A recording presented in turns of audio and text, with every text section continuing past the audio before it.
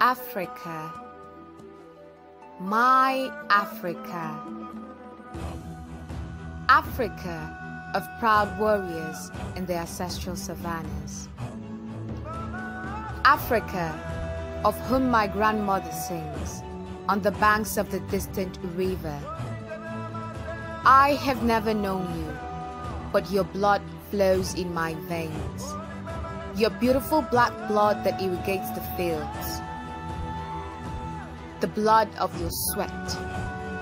The sweat of your work. The work of your slavery. Africa. Tell me, Africa. Is this your back that is unbent? This back that never breaks under the weight of humiliation? This back trembling with red scars and saying no to the whip under the midday sun?